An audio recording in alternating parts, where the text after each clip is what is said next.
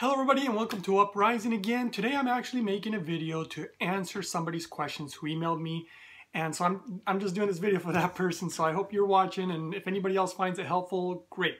So the first question they, they asked me was, they apparently were told by a doctor actually that drinking water from a Kangen machine is, well, one, th that it's better apparently and that it's bad to drink too much hydrogen water, which is the reason that in nature you don't find super high levels of hydrogen. Let me actually tell you the truth and the actual science behind this. The doctor's wrong. Um, first of all, it's incredibly hard to overdose on hydrogen. And even if you tried, you couldn't. They've had studies about it and you cannot overdose on it. If you get too much hydrogen, which is really kind of tough to do, your body simply breathes it out. It's crazy safe. That's the first thing. Second of all, drinking water from the Kangen machine is not better for you when compared to the Lourdes. Now, this person specifically asked versus the Lourdes, and, and from what I have found on all the research, Lourdes seems to be the best way, cleanest way, safest way to consume hydrogen because there are ways that are not very good for you, believe it or not. So, they were stating that how much hydrogen does the Lourdes make, or I'm sorry, the Kangen makes around 0.1, 0.2, you'd probably be lucky to get 0.3. One of the things that they had stated in their question was that in nature, you don't see levels above, you know, 0.5. And that's true. Typically, the levels are about 0.3 and lower also. But here's the thing. Now, nobody really knows this answer. This is just kind of a theory of mine. You could say, well, in nature, you know, the water doesn't make so much hydrogen, so you shouldn't consume it. Well, we don't know because in a lot of ways, we've done a lot of things as humans to damage nature. I don't even think that oxygen levels are correct currently in the atmosphere, probably because of all the trees we've cut down, you know, the massive deforestation, and it's affected our oxygen levels. I don't know how many of you know about that. Now, I don't know what else we've done to affect hydrogen levels. Who knows? What I can tell you is the science, and the science in Japan has shown that the super effective number is 1.0 ppm to consume. Now, if you go to 1.2, that's great. If you go to 1.5, that's great. You're safe. Now, you don't have to go all crazy and try to be consuming 4 and 5 ppm levels because it actually reaches a point where it's just kind of pointless. The body can only utilize so much of it, which is one of the reasons that I tell people try to drink some hydrogen water, even if it's a small glass, every four hours because the science shows that every four hours is when it really starts to dissipate in the system and then you want to reintroduce it. I hope that answers the question.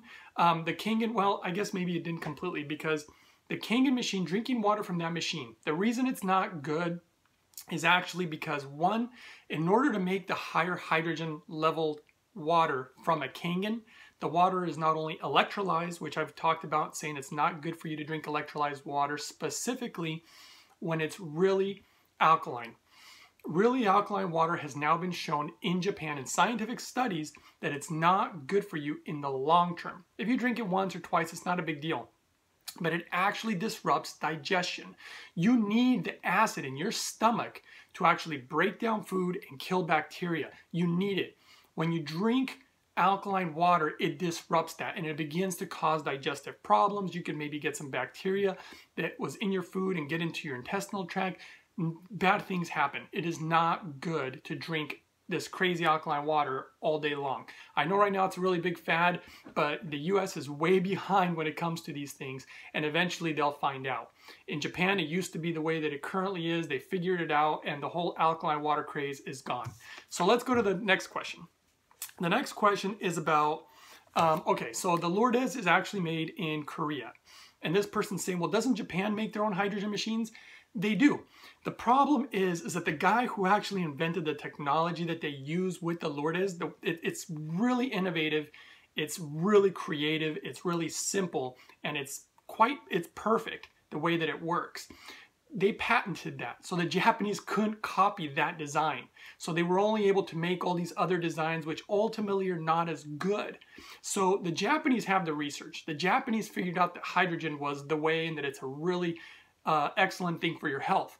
But it was the Koreans that figured out that particular design. And that happens with a lot of things, you know. And so in the end, that's why they make them in Korea. Korea is actually making a lot of good products these days. You know, they're you know back in the day, Japan used to make a lot of garbage products, and then you know Korea's done that. China is obviously probably still doing that, but in the end, uh, Korea's doing pretty good. You know, they're making really nice cars too with the Hyundai's and and uh, the hydrogen machines, you know, they do a good job. And so I hope that answers the question. I mean, yes, Japan makes other machines and I've looked at them and they don't have anything that is as good as the Lourdes at this time. But I'm always keeping my eye out, so I'll keep you guys posted. Okay, next question. Um, can I put Kangen water in the Lourdes? The instructions in the Lourdes uh, manual specifically say do not use electrolyzed water. So I would say that the answer is no. So I hope that answers that question pretty simple. I think you shouldn't use it. I, I, I wouldn't think you should use that. And the last one is, how long does the hydrogen stay in the Kangen water versus the Lourdes water? Well, this is a very difficult question to ask because there is no specific number because it's it, it, varies. It varies on the temperature of the water. You know, it varies on the movement of the water. I've heard of people putting uh, the Lourdes water in the refrigerator and like 12 hours later, it still has like 80% of the hydrogen. And so there's a lot of factors, but if you put them all, if you put both glasses with Kangen water or Lourdes water, and you measure the time lapse, I would guesstimate that the Kangen water is probably going to stay there maybe 20 minutes if you're lucky, you know, maybe 10 minutes and the Lourdes water is going to stay there for, depending on, again, a lot of factors. It's going to be hours. Um, it, will probably stay in there for four hours. But again, the levels are really important because you're going to have much higher levels in the Lourdes as compared to the Kangen water. So they're going to both start dropping, but you're going to have hydrogen in the in the Lourdes machine for a much longer period of time, and it's also going to stay in there longer because the Kangen machine does not make nanobubbles. The Lourdes machine makes nanobubbles. This is really important. This is one of the reasons, the way that it's structured, that the hydrogen stays in the water for the amount of time that it does with the Lourdes, and also makes it more viable for your body when you take it in. So I hope this answers all your questions and, uh, and I hope it helped out other people who may have had those questions. And don't forget to subscribe again if you guys haven't and, and you like the uh, channel and you like what I'm bringing you. Don't forget to give it a thumbs up, which always helps the channel. And I'll see you guys next time. And if anybody has any more questions, feel free to email me.